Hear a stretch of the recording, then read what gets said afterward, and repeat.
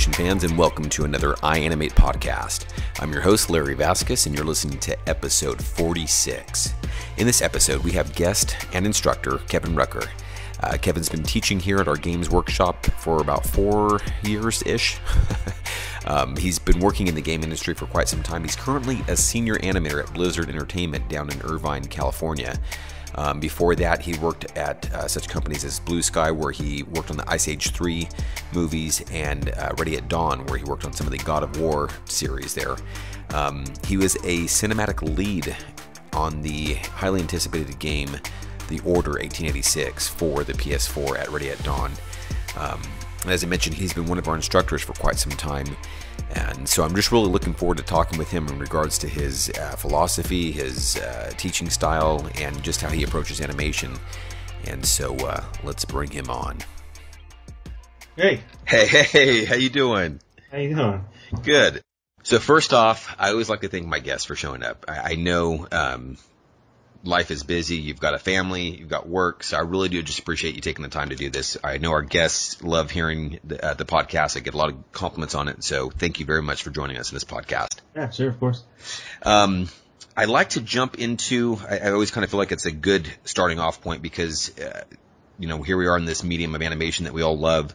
But how we kind of get there, everybody's kind of has their own little story here. So I just kind of like to find out, you know, how you got into animation. Were you one of those kids that loved to draw, or is that something that kind of, you know, uh, the idea of animation and graphics kind of came later for you, or how did that work? How did you get into animation? Why did you want to do it? And maybe what was your education to to kind of start getting you in the door?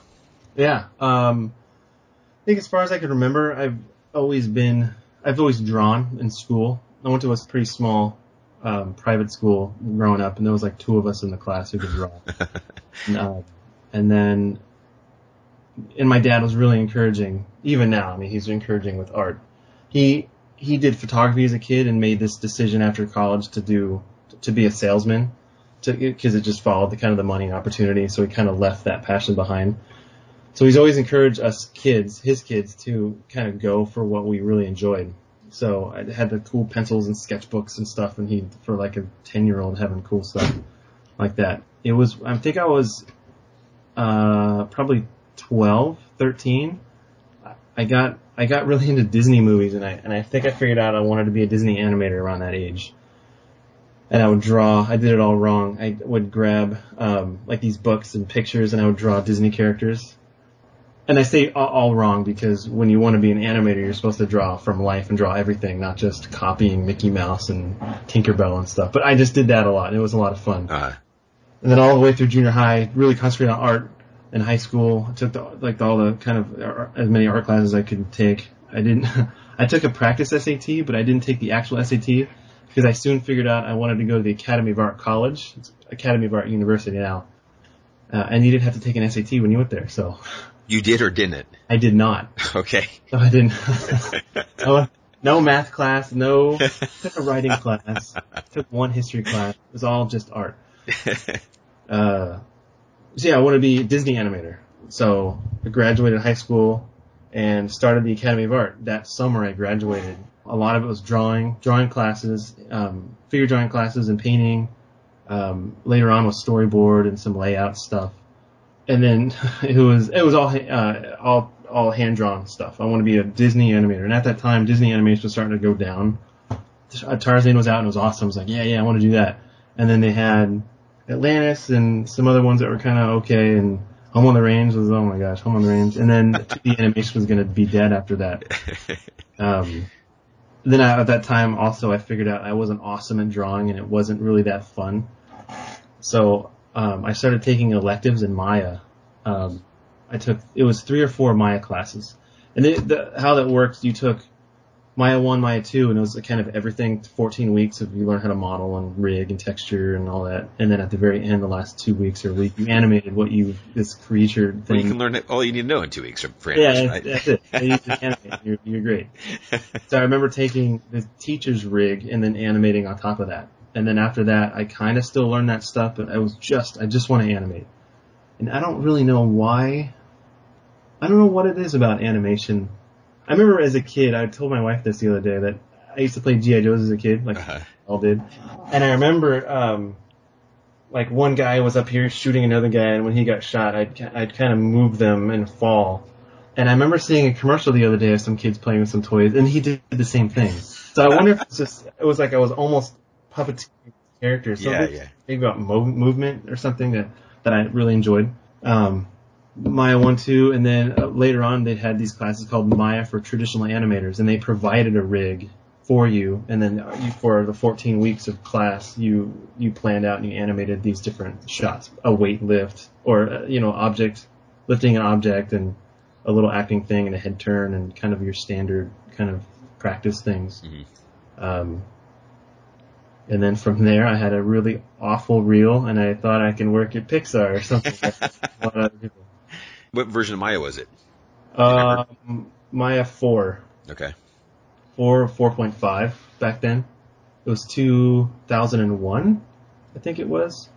I went to, it was college, I went in 99. So, Okay. and I had no, it's like computer, I didn't like it. Pixar stuff was, I mean, Pixar was awesome at the time, but people who were doing CG stuff, like it was all bubbly and geometry smashed together, and like, what, it, like I'm looking at Tarzan, it's like, that's, this is awesome. Not- what is this computer stuff? I didn't, I just didn't get it. I met a guy there trying to be a, a pretty good friend, and he um, he wanted to do the CG stuff, and it was all CG, and I wanted to do the 2D. Um, so he's trying to get me to maybe do 3D and 2D, and we talked about doing a short together or some kind of thing, where who's better, 2D or 3D, and look, what I can, look what I can do. And it never panned out because I wasn't, I couldn't draw, but so I'm really glad I took these these 3D classes. Yeah, that's kind of the college thing. So how did you get into some of your first gigs? So the first gigs, so when I graduated, uh, I couldn't find a job, and then I got a, I, I was soon married after I graduated. A couple months later, we got married, and then I worked at this, um, this laptop company in this kind of warehouse for a year, and then it was a good, it was perfect schedule. I worked from seven to four. I'd get home and I just kind of animate. And my buddy Jake, his name's Jacob Patrick. He's down here in LA doing writing and all kinds of stuff. Hmm. He want directing and um, he's like an idea guy. He wants to do shows and make movies and stuff. He's ambitious. He had a job at Sony Computer Entertainment, and he taught me how to make animation for games. for games, excuse me. Um, For those listening over here, Kevin's taking a nice big gulp. man, my throat's getting dry. It's like. And at the time, it was it's funny.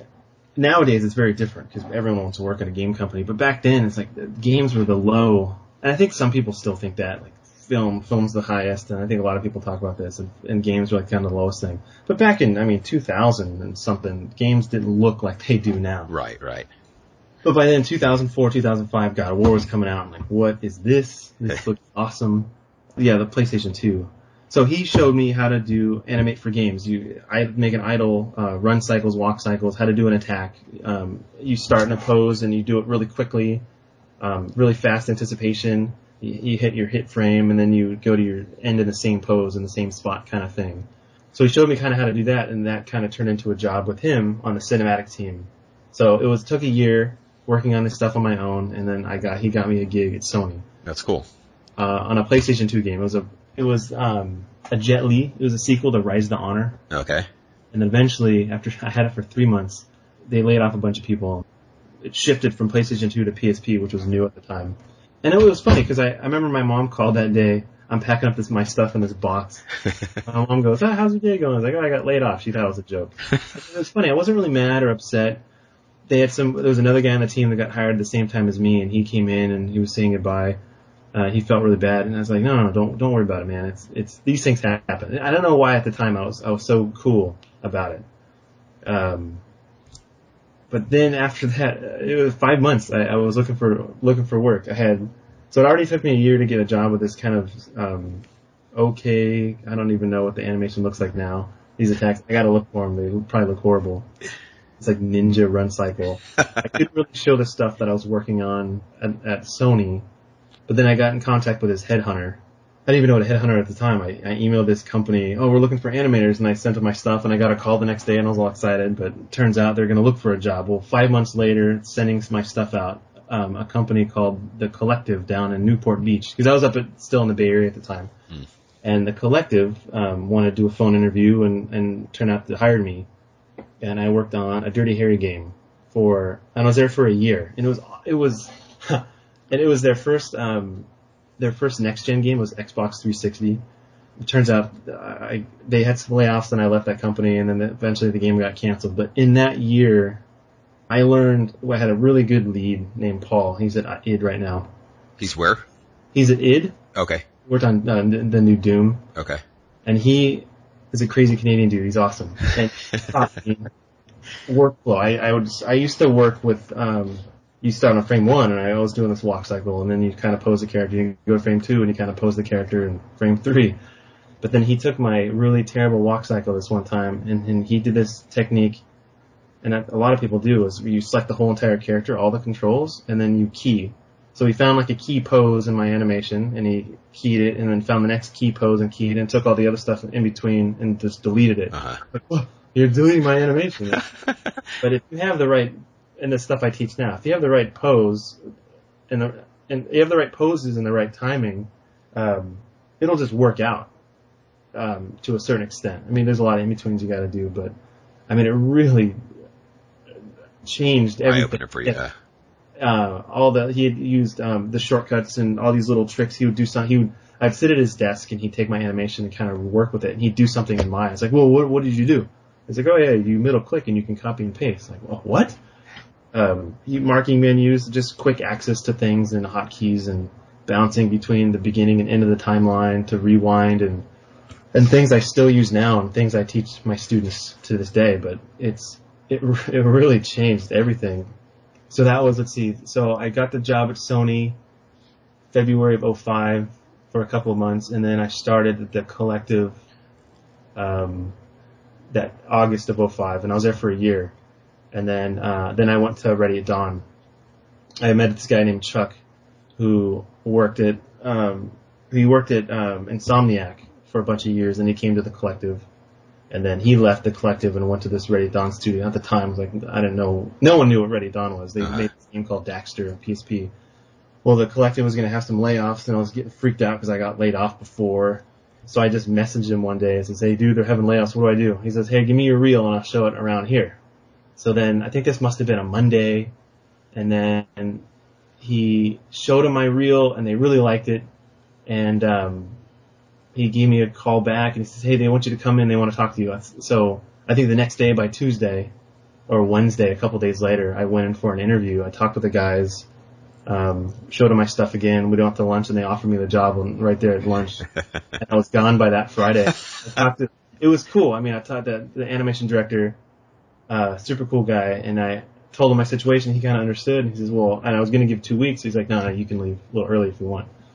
So Monday and then Friday I was okay. gone and I wow. started Ready at Dawn in um it was 06, so September of 2006. Now, what titles do you work at Ready at Dawn? Ready at Dawn, um, they I got hired and we were working on the God of War Chains of Olympus for PSP. Okay. So they're working with. So after they did Daxter, they talked with Sony to try to figure out what else they can do. And at the time, God of War 2, God of War was already out and they're huge fans of it on PS2. Then they're working on another God of War. And so Ready Dawn says, "Hey, we can make a God of War for PSP." And I think Sony thought, "Oh, we'll do you'll do the portable version of it, like a side scroll or something." And then they're like, "No, no, no, we'll do a full game." And that's what they did. It was the same kind of camera, crazy environments, all the awesome attacks, and so it was. So when I was at Sony and God of War One came out, and we're thinking, "What is this game?" Uh-huh. I remember playing God of War One and just watching the run cycle and his attacks. Um, and it was it was so awesome. So I had n- never dreamt that I would be working on that kind of game. That's pretty cool. Did you see the uh, new uh, was it t- uh, trailer they showed for uh, E3? Yeah, yeah. That was pretty insane. Yeah, they're doing the the third person stuff is coming back. Okay, okay. Yeah, it's like Dark Souls kind of thing, which is like the camera behind. They're the, um, God of War was different. They had uh, it was all on, I think they call it scripted camera. So, uh, depending on the, the level you're in, you might be the camera might be behind, following Kratos behind in a hallway. But if you turn around, he'll just run towards the camera. And if you go back to the this outside environment, the camera will kind of snap back, and you'll just run around. So it's very this since it's a fighting game, you need to be able to see everything like this where you're fighting. So the new game is very different, but I'm sure it's going to be. It'll look really good. Yeah, it And you're like an old man, and it looked pretty amazing. yeah, yeah, that's that would be that'd be a good fun fight to work on. So you were at uh, Ready at Dawn for a bit here. You worked on two God of War titles. Yeah, so we did yeah the Go- Chains of Olympus, and then um, eventually we did Ghost of Sparta, which was a sequel. Okay. No, no, yeah, it was the it was I think it was supposed to take place between one and two, I think. So Chains of Olympus was a prequel to kind of God of War one, and then I think Chains of Olymp or Ghost of Sparta was between one and two, kind of in the story. Any pressure working on this title here? Obviously, there was a big success with the console version. Yeah, I think um, graphically they had a they had a big that was a big deal on the first one. They uh, PSP normally ran at 222 megahertz to save battery life, and then they they talked to Sony to unlock the full 333, which sounds so small right now. Uh, but at the time, it was a it was a big deal because we can get the better frame rate and the lighting was better and the shadows and all that. Yeah, it was it was a big deal. We had at that time we only had God of War one, two, um, to compare it to, and I think I can't remember if God of War two came out first or if Chains of Olympus came out. Um, but yeah, we had so Sony came down. They had we had to make sure it kind of fit um, fit the world. There was kind of this this idea of how Kratos moves, and we had to kind of follow that. But since all the creatures were new, I mean, we had. I mean, I was a nobody at the time. I mean, I still am a nobody, but more or less of a nobody. So I think there was a lot of freedom. I think we. It was funny. We'd actually play the game and then trying to figure out how there's this thing called a CS or context sensitive context sensitive moves where you when you get a um, you're fighting like a, a big cyclops and then you get his health low enough and there's like a circle prompt above his head and Uh-huh. you can you go up and hit circle and you grab him and you do this crazy move and you climb up and then it's like a mini game where you're supposed to hit the right button at the right time and then you just continue. So was like you'd animate the character's move set, the idles and runs and attacks and all that, and then the end is like the the awesome stuff. Where, and I, I get to kill it somehow. I remember animating this the um, Cyclops attack. He climbed, the, it initiated, and you, I think you cut him in his stomach, and he comes back. I mean, it looks horrible now, but you hit the ground, you climb up his arm, and you stab him in the shoulder, and he stabs him in the eye. It's horrible. I mean, violent, but it was at the time it was really fun. Hey, he's the bad guy, right? He's the bad guy. Yeah. yeah. and then you and then you get to kill him. But anytime you messed up one of these button presses, that you can fail. So we would play the game and try to figure out is this how you do these? I guess so. But then later on we'd find out that we did it all wrong. But I mean, it, it worked out pretty well because I think they're busy with their game, we're busy with ours. But um, and then Ghost of Sparta was a was a hot, it was it was awesome to work on. It didn't sell really well. I think the first one came out just the right time and it, and it was awesome. But the second one, I think just the PSP life cycle was kind of coming down. Uh, and the other thing, they kept comparing it. Then God of War 3 was coming out on PlayStation 3, Okay. and they kept comparing it. It was really funny. They'd say, "Oh, God of War 3 looks better." It's like, yeah, it looks better. It's not PS3 It's like awesome. on a PSP. So we took that as a compliment. Like, ah, it does. It looks pretty good, but not quite as good. Right? okay. And I think it, it was downloaded. You can t- you can download PSP games too Okay. easily back then. Uh, oh, okay, okay, I got you. Yes, it was. I think the before it was even sold, it was downloaded like a half a million times. Like, Gosh. oh, guys, Nice. you really enjoy these games, but you're taking money away from people who make them. Gosh. That's that's it's too bad. Yeah, yeah. There's a lot of time and energy put into those things. Yeah. So then we didn't make any more because we didn't make money. Congratulations, pirates. Yeah. yeah. I get hacked. Uh, yeah. So that, those two, and there was some other pro- other things that kind of came and came. in- Uh, we kind of started and keep us busy, and then the order was the next big one that I was working on. Um, I was the cinematic lead on that game. Okay. It was a big deal. Um, but I was on it just for a couple of years, and then I left to come to Blizzard. You say, I was only I was on it for two years. you say just a couple of years, like, ah, you know, it's a couple of weeks there, you know. That's a long time. Two years on one yeah on a project Yeah. it was a brand new i'm trying to figure out let's see the first god of war was not maybe a year oh man i'm really bad with dates and the second one maybe a couple years maybe less that ready dawn at the time they totally skipped the current they went from psp they skipped PlayStation 3 and they went straight to PS4. Right. Yeah. And it was all new, all new game, new IP, new everything. It's like Yeah. we're going to cinematics with crazy facial capture and mocap and It's amazing looking. yeah, it was. Um, yeah, it was ridiculous. It, it was. I think we we would we were shocked. Like we, we would work on it, and it's like when you're working on, they're building the level and it looks all cool, and you kind of run through these. They're called pre-mod levels where you run.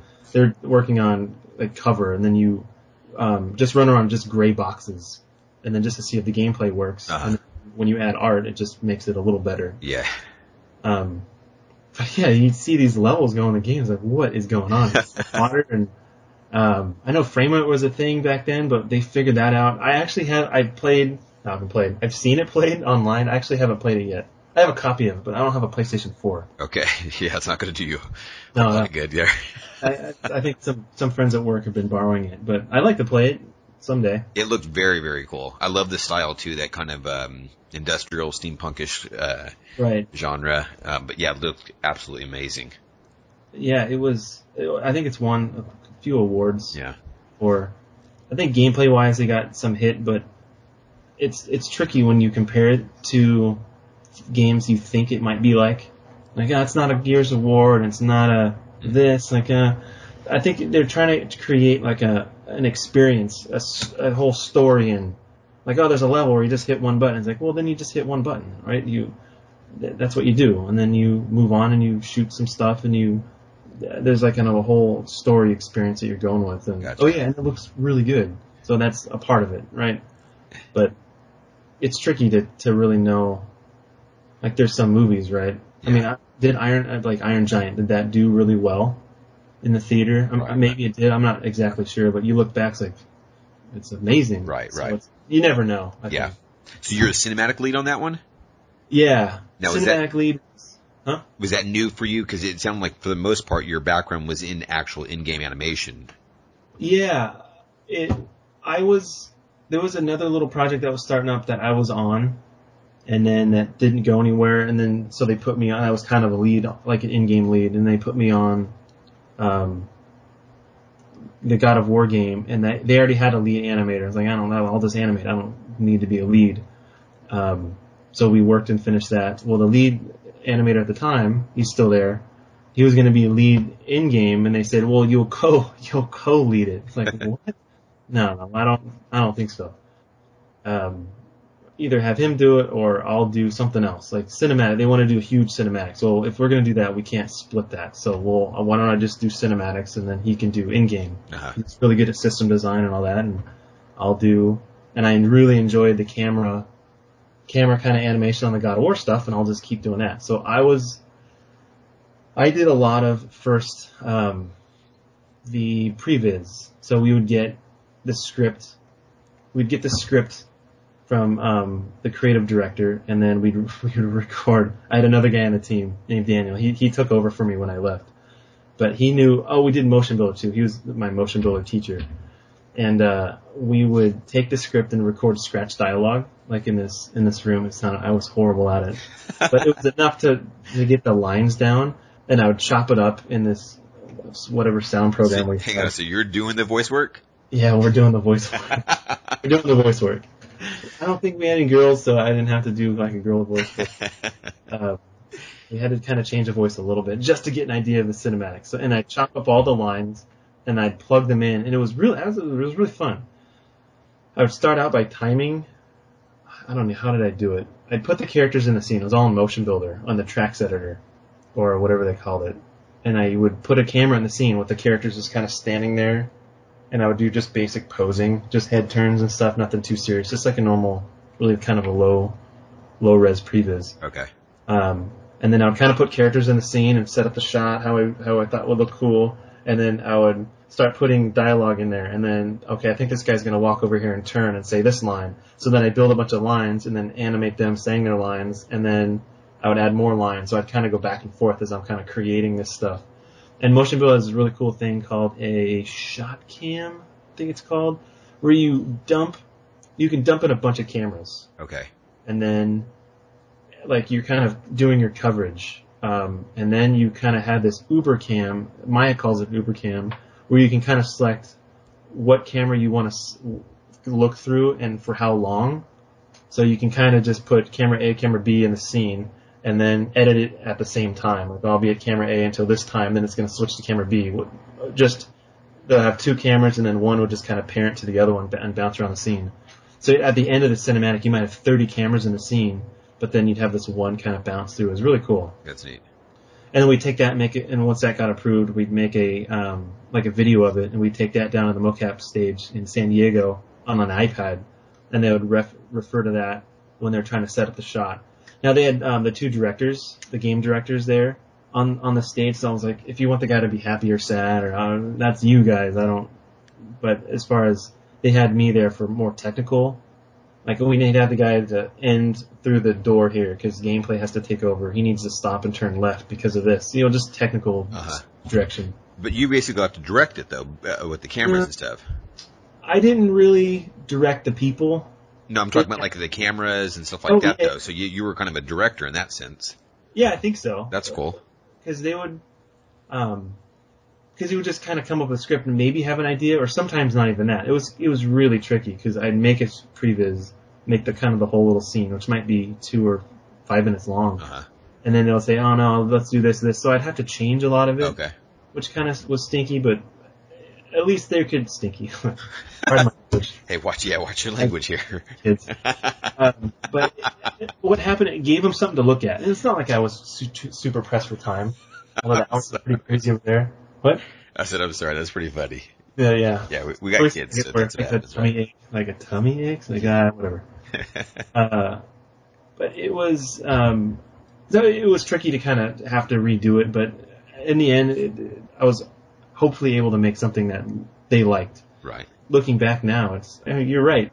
I guess I was able to kind of help direct the scene, but then from there they'd shoot the actors, and then um, things would kind of come up, uh, uh, other ideas, and then later on they take all the footage, and then down at San Diego, this awesome camera guy, Pablo Chavez, and he would go through with a mocap kind of camera in their room, and then start just shooting coverage with his camera, kind of loosely based on what I did, uh-huh. but something, you know, the timing would change. We'd have happy accidents, and I would sit in there um, with them. I'd ride down to San Diego again, and I'd just sit with them and he had this other guy working with him for more of the technical aspect, and they would shoot coverage and then export the scene from there, and then that's how they'd kind of process the mocap from that data. Okay.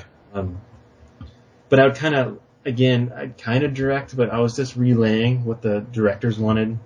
So I was like a technical liaison, but that was, I mean, that was fine. I don't mind. Again, with my class, um, I'm sure we'll talk about this more no, later. bring it up. I like hearing it's, this. It, it's tricky because um, you try to find good ideas, and hopefully, I was able to relay what the directors wanted, not just what because I don't want what I want usually because I don't know if it's good, but you try to find a good idea. Like the student will have an idea for like, we do like a run cycle or death animation. Like oh, it'd be cool if they did this. Like yeah, yeah.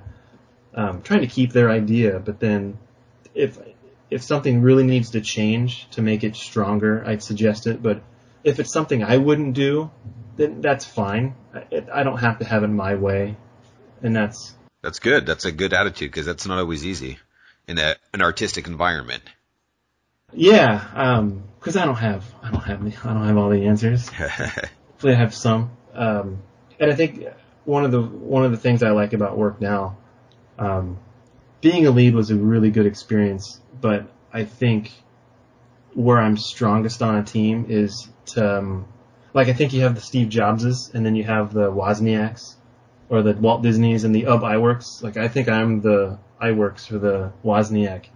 Like you just you have the vision and then you tell me what you want to happen and hopefully like the, the joke was you know for my position Ru was the was the create one of the owners at Ready Dawn and then the pr- production director said, "You just make Ru's idea look good." I'm like, "Okay, that's was perfect." Gotcha.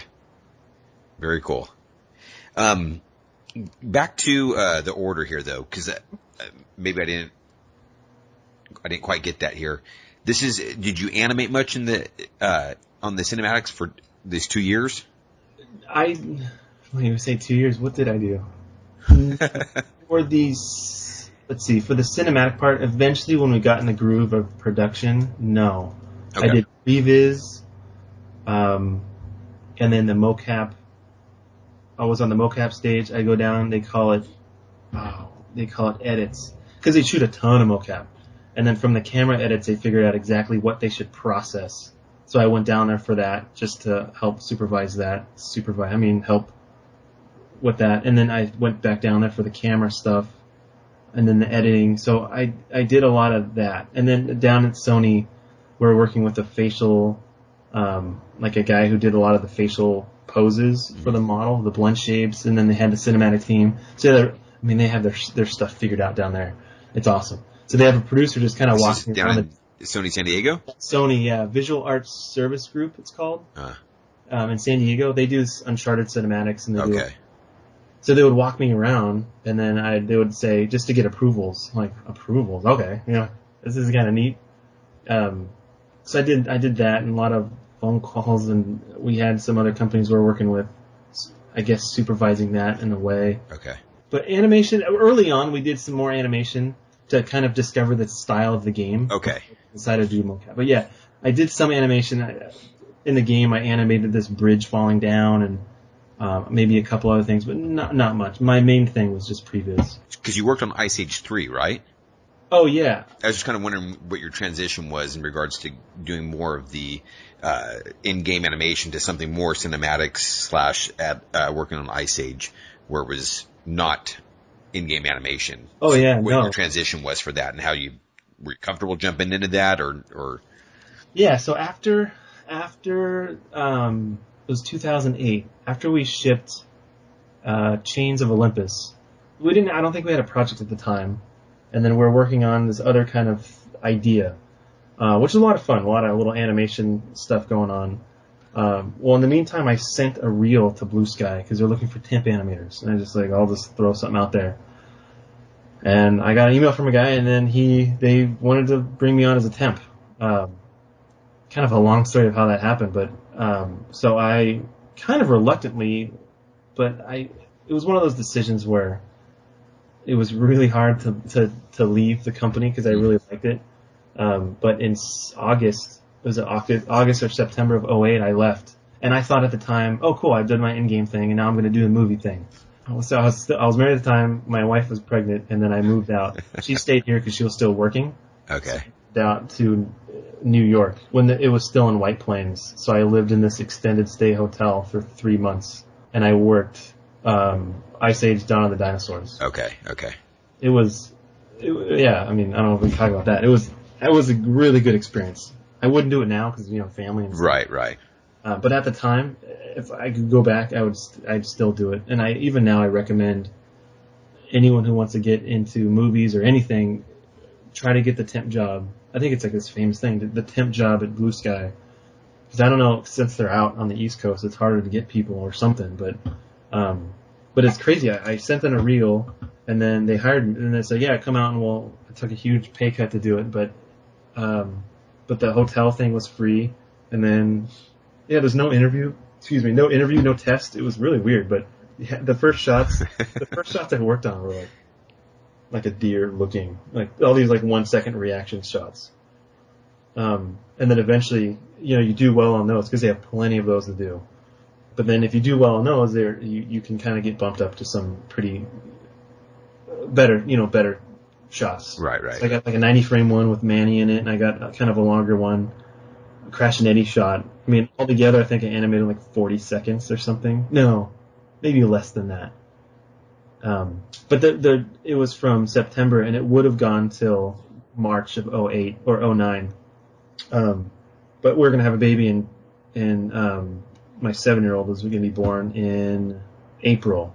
So I came back during the Christmas break in, in December when they when they moved to Connecticut. Then I just left because they took a big break for a week, and then I just didn't come back. Did you tell anybody? Oh No, no, I'm kidding, I'm kidding. like I told them, and they're like, "Oh, sorry." to kidding. go on that. And then later on, they called. I think after the baby was born, um, they called to offer me a full time job out there, which Oh, was yeah. really cool. But um, it was my my my parents' seventh grandkid, but then it was my wife's parents, my in-laws' first. First, gotcha. so I, I I I turned it down. But got a different experience though, which is pretty. Yeah, cool. it, it was.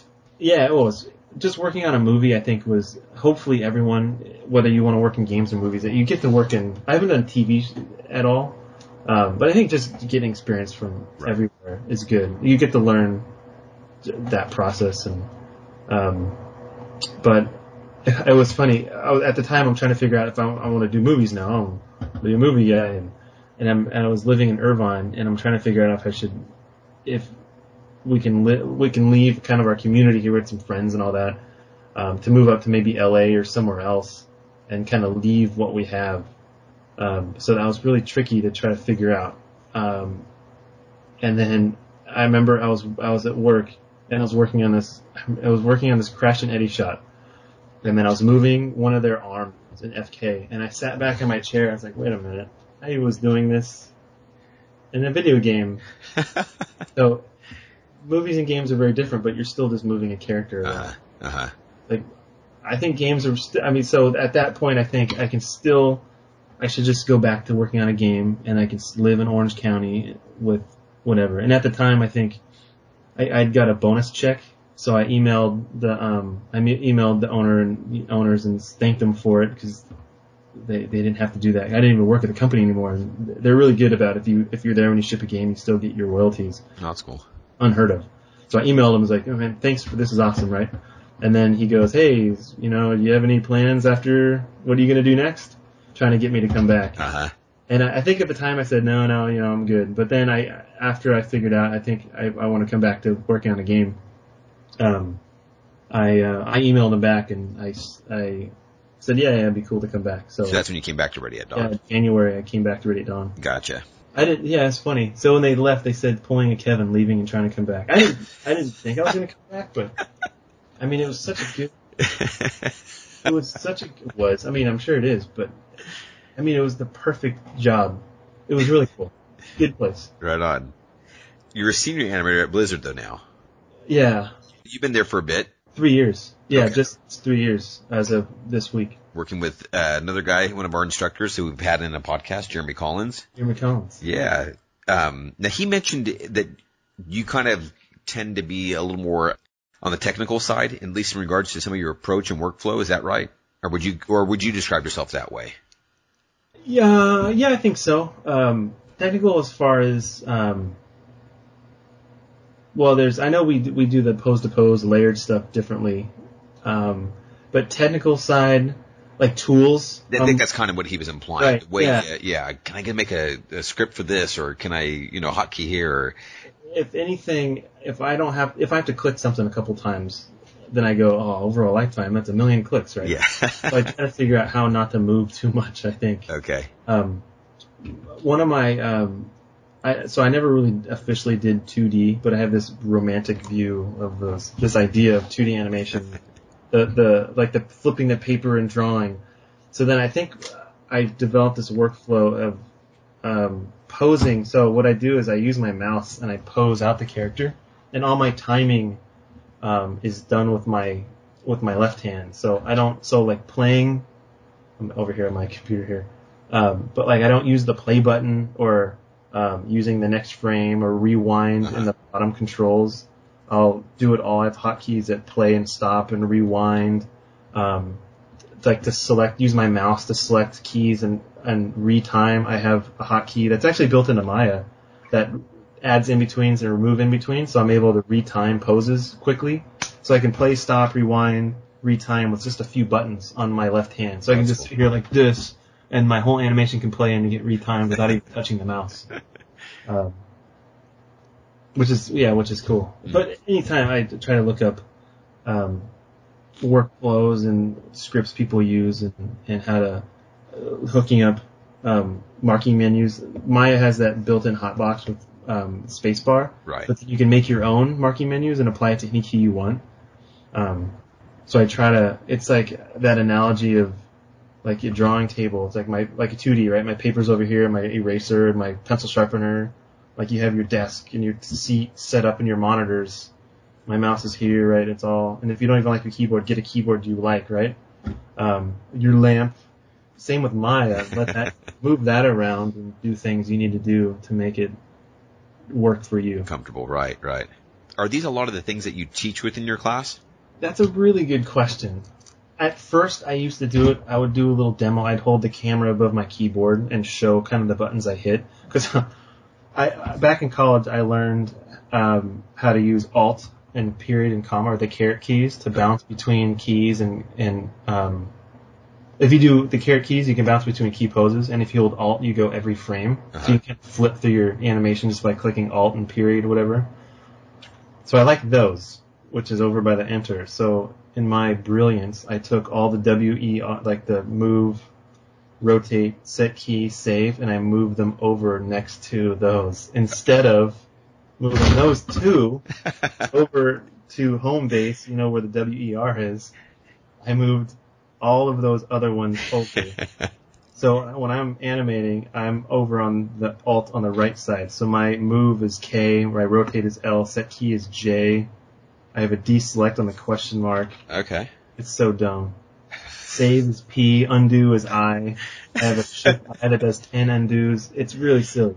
So, um, so I would show that kind of stuff. And I think, I was thinking maybe it's confusing people, like they thought, then I'd get these questions, oh, what key did you put whatever thing on? This is, well, if you like it, then put it anywhere you want. Right, You that was the point, yeah.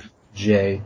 So now I'm more, I introduce it, but I think if you don't know the long way to do something, the shortcuts won't help you. So um, do vanilla Maya and learn how to animate. Just learn how to what a good pose and time, what timing is, and it, and usually until you see me do something in class, like I'll have a student, well, how did you do that? Like ah, now you're ready to know, and then I tell them my little secret, whatever. But then, or sometimes you show someone a shortcut and they're like, wait, why would you do that? I don't even get it. Then it's, it's kind of Pointless then, huh? yeah. Oh, that's cool though. That's a, that's a great philosophy though. At least then you understand the why behind Yeah, the, exactly. the shortcut. I mean, I love talking about it, and I'll share just the, the kind of the, a couple I think they would really like, like the retiming or add it in between, remove in between, um, playing and stopping. And I think that's that's the only ones. And then undo. I in the hotkey editor, um, I I put I just created ten undos in a row. So if I hit Shift undo, it does ten. Okay. And I learned this from my, I think I learned that from Maya friend Jacob. So instead of hitting undo, undo, undo, you just hit it twice and that's 20. You're done. yeah, which is just a lot faster than when I try something out. That's why I don't do a lot of people ask about auto save. That freaks me out because sometimes when you save in my, it dumps your your undo cache. Hmm. So I'll try something out and like, yeah, it's not working. I'll either reopen or I'll undo a bunch and then I'll kind of start over. It's kind of like erasing. Yeah. Now, has your workflow changed much throughout the year, or do you still uh, like that kind of more traditional pose to pose, get your golden poses in, and start working in the in betweens?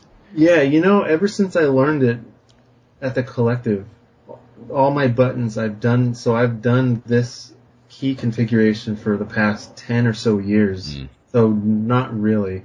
Okay. Which kind of freaks me out because I'm wondering if I'm plateauing. Um, I've learned, so workflow wise, I've learned to, um, yeah, I guess so. I learned to, oh, what am I trying to say here? Um, pick the right way early on. Like I used to, I do a lot of pose to pose, like run cycles and hit reactions or whatever, death, right? To pose it out. And once I get the key poses, I start on the root T, trans Y, translate Y, and I kind of refine that, and I refine the Z, and I start refining things in pieces. So it's almost layered, but I'm working with a nice, the tent poles of key poses. Okay. But when I do an idle animation, uh, layered. Like I don't even, I do a pose in the beginning, but I'll just start doing the root up and down and side to side. Really? And I add, oh yeah, it's completely, I call it mashed potatoes animation. it's like there's, when you look at the graph editor, there's no solid key pose, maybe at the beginning and end. Um, maybe early on I might, I may have tried to do pose to pose, but it's, they're so, doing an idle is so hard to do pose to pose, I think, that it's just easier to do layered the whole way. Okay. But like on a run, I would. I don't think I'd ever. Like there's guys that do like up and down, and then they do the root, and but it's hard to know how long the legs need to be in the gait, right, and how high and low you need to go. I mean, Yeah. I, I'm just not that good, I guess, to do that.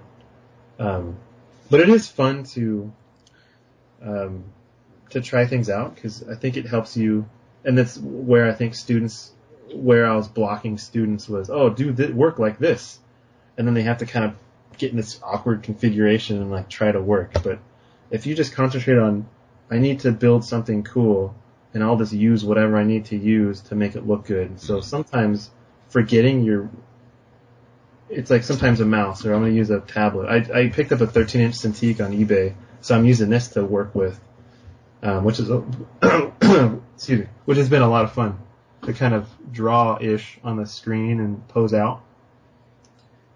So that kind of changes things up a bit. Okay. Now, I've noted uh, there was some time back, I forget how long ago, you actually did a, a short test with one of our rigs.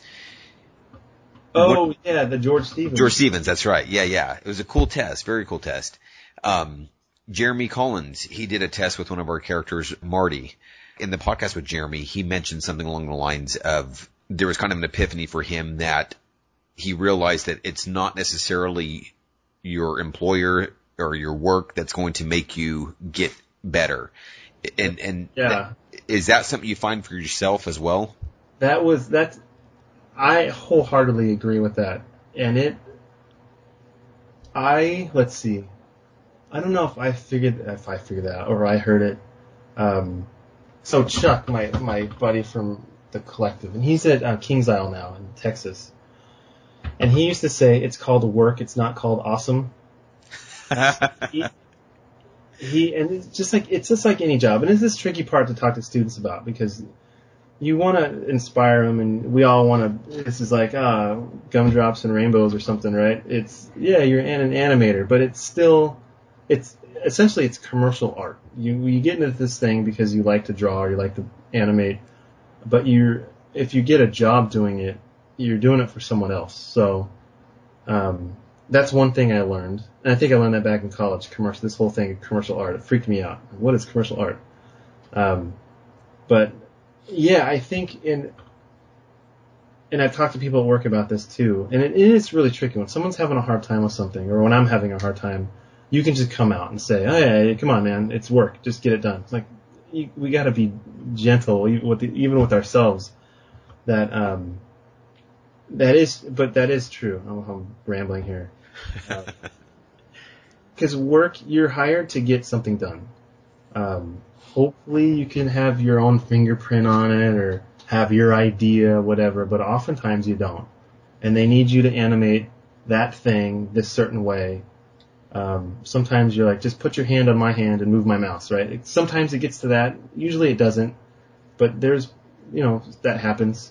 So at those times you have to say, okay, I'm working for somebody else.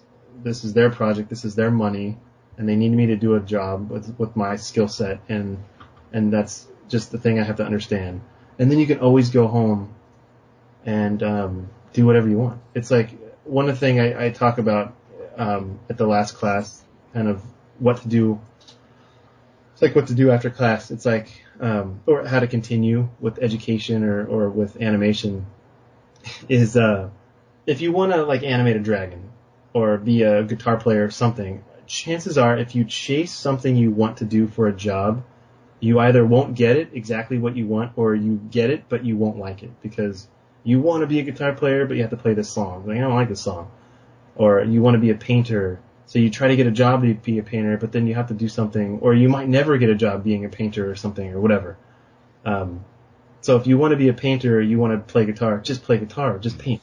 You might not get paid for it, but um, You're doing something you enjoy. you're still, yeah, you're doing something you enjoy. So, I mean, hopefully we can all get jobs and support ourselves with something we love to do. Right. Um, but I mean, it's But to push oneself, that's where you got to do that, the extra. exactly yeah. Mm. So you can't exactly you can't ex- exactly what I said. You can't expect them to give you stuff you want to do or um, make you better. If you think you're plateauing, um, maybe not leave your job. that- that's tricky, but seek out, talk to people, and try to draw or or animate at home. Or and I think a lot of that, if we make excuses.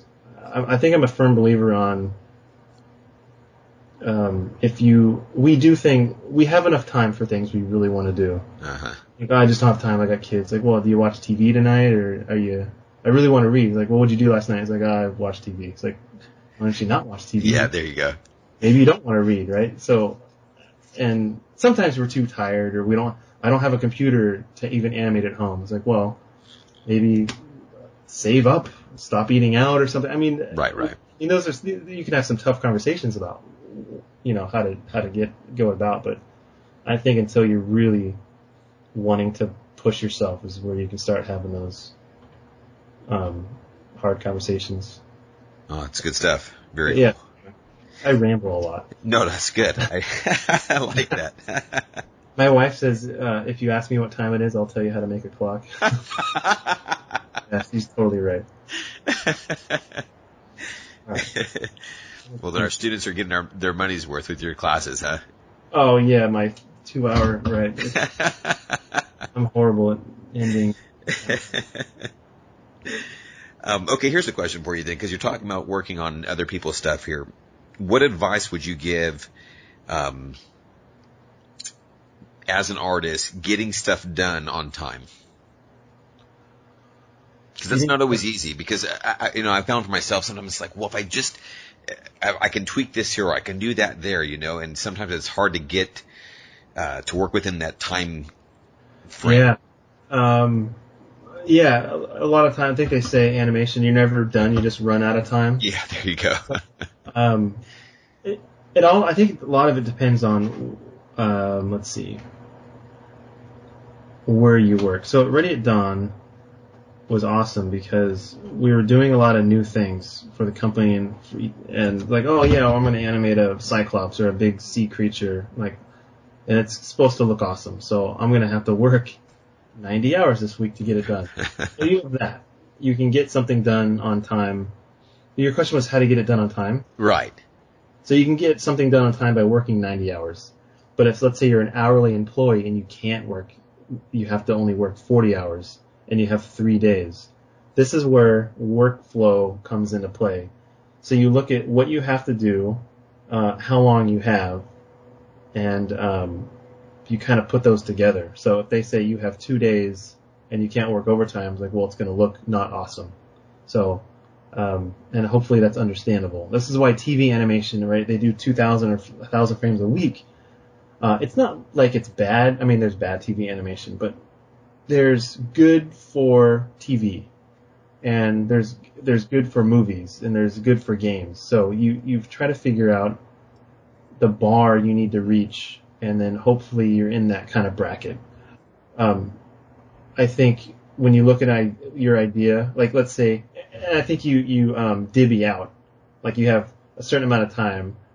Um, that means I have this much time to shoot reference, I have this much time to plan, this much time to block it out and get approvals. But if you have like a month, then that planning time can grow. But if you have one day, my planning might be a half an hour, and I just have to blast through it. So, so yeah, dividing up your time, and then keeping your animation, like if it's an animation, making sure, like if you're doing 100 frames, that you don't just concentrate on 10 frames, that you're kind of, it's like broad strokes. You're kind of doing the whole thing. You're blocking the whole thing. You're refining the whole thing. You're starting to polish the whole thing. So at any time you have to stop, at least it's all the same quality. Okay. One thing's not overdone. the other part's not even done. I mean, that's really bad. But I think it just comes down to workflow. Maybe Okay. practicing. This is always um, have a friend tell you what to do and how much time to do it in, and then see if you can do it. Hmm. Um, and see what it's like. I got to do a run cycle. I have to do a run cycle in four hours, and I have to. I and now I have one. I have a week to do one, and see, uh, you know, how different they are. You work in that time frame, yeah. Yeah. And then eventually you get better. I think you just get faster. Hotkeys that help out um, a lot. Good notes help out. Not having to start over. Hopefully your your supervisor understands and they don't want to go like, oh, make it with the left hand. Like, hand.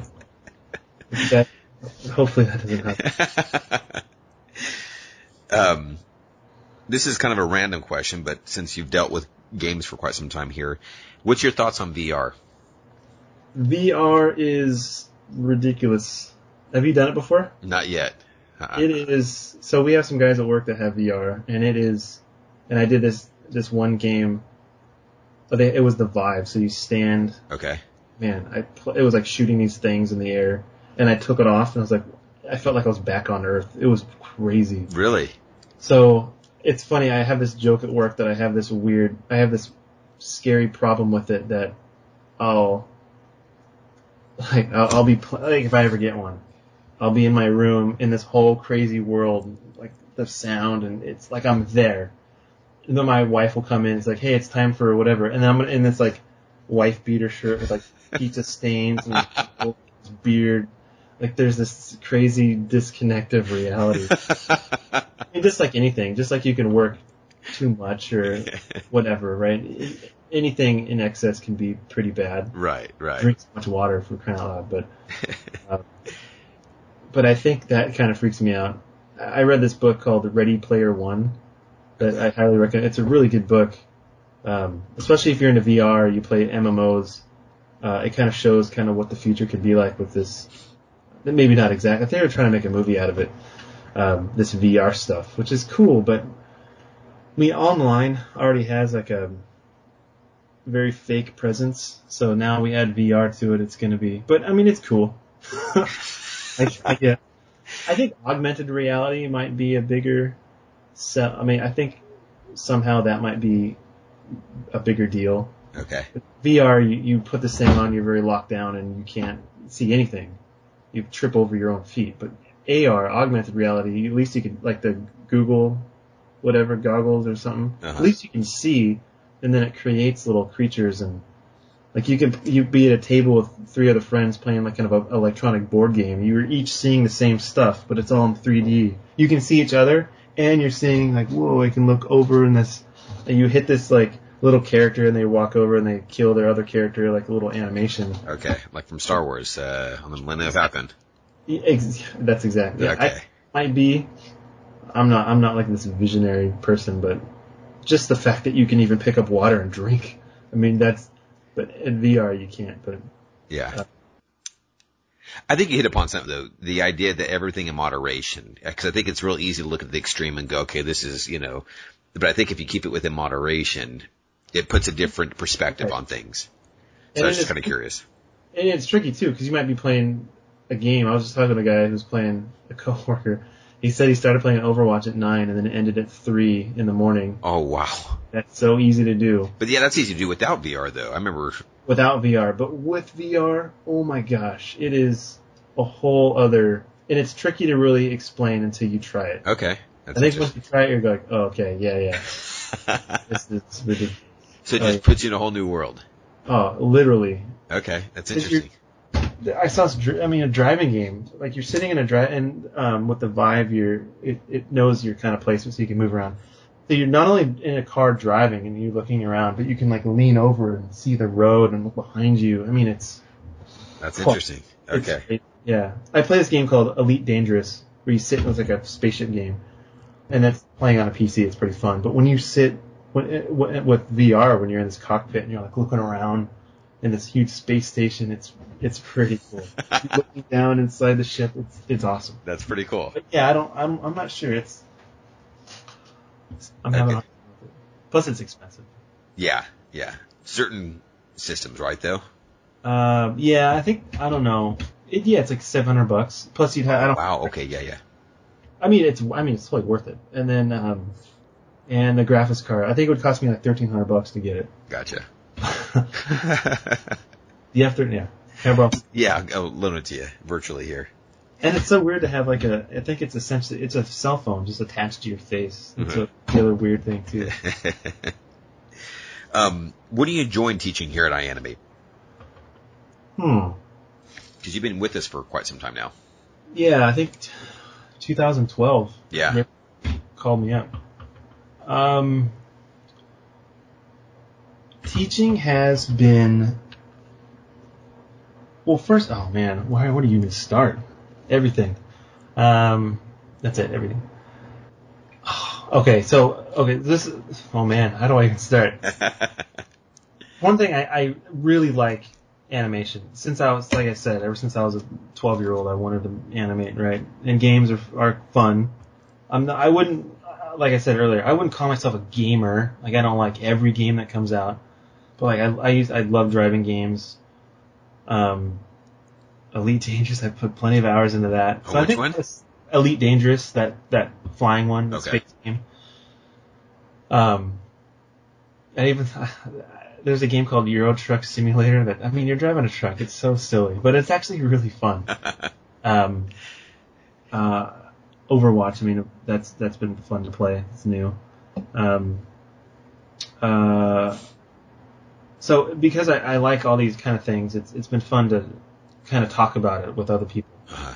Um, and I didn't really know this at the time, but when I took the job, but to be able to take what you do and put it into words and teach someone else how to do it, it, it really makes, I think it makes you better at whatever you do. So for me with animation and po, like I do a thing in my first couple classes, we do just posing and we take a character in all an F, all FK skeleton and I have them pose a action character.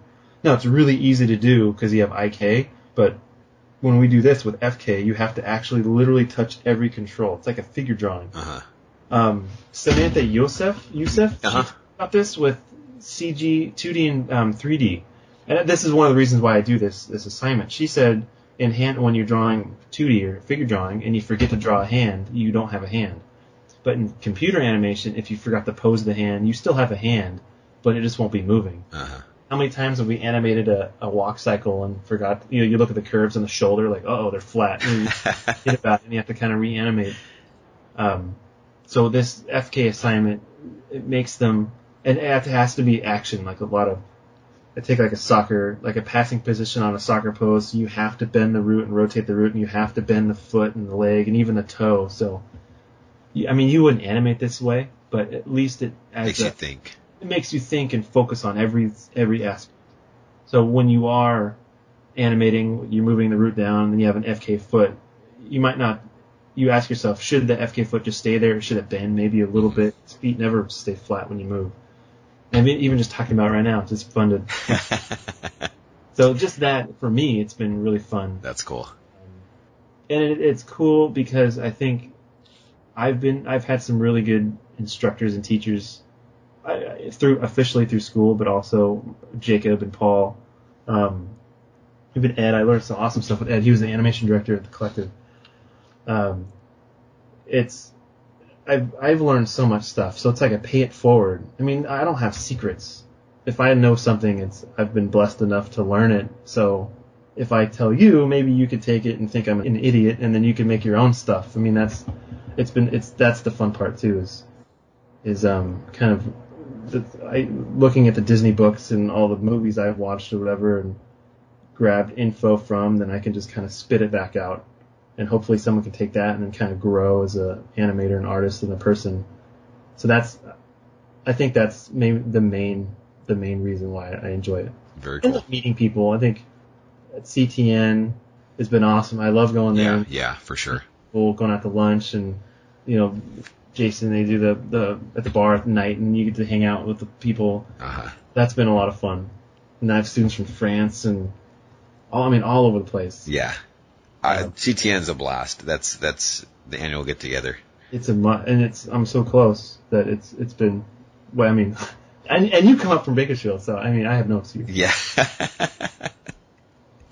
Larry can make it. Anyone can. Make it. Any hobbies you like doing? I know you play the guitar and Yeah, I play guitar. Um, I've been getting into reading more. I, I was, like I said, I didn't do an SAT in high school. Um, any nor, favorite books right now? nor did I read books. Um, um, I was reading The Fountain or Fountainhead by Ayn Rand. Okay. Oh, okay. yeah, I mean, her philosophy is kind of dumb, but it's an interesting book. Like, you know, we had an Odyssey, like a lot of classics. I love classics. Yeah. Yeah, so um, Steinbeck and old like Shakespeare, uh, even that a lot of that kind of stuff. Yeah. Right on. Get into. That's awesome. I read more books out of college than I ever read in my probably my education career. Oh yeah, that Probably within the first couple of years after I just you didn't have to do it, or Yeah. or read it or write a paper on it. yeah. Uh, there's so many classics I would love to be able to put into animated movies. Oh yeah, that totally. aren't. Um, and then I have a motor. I have a motorcycle. It's fun to ride. Um, kids that keep me. There you can go, wife and kids. That'll keep you. Kids. Keep your priorities there. Yeah. Very cool, Kevin. Well, I really do appreciate your time. Um, love what you do and here at iAnimate. And uh, you've taught Games Workshop one and two. Is that what you typically? Uh, I one I've done. I did uh, Workshop two. I think just a couple of times. Okay. I've been doing Workshop one for a couple of years now. Right. Right. All right. So anybody who's looking to jump into the games arena here, come take a course with Kevin. Yeah, you'll learn some good stuff. That's right. That's right. All right, Kevin. Well, thank you so much, man. I really appreciate it. Yeah, sure. This was fun. Thanks.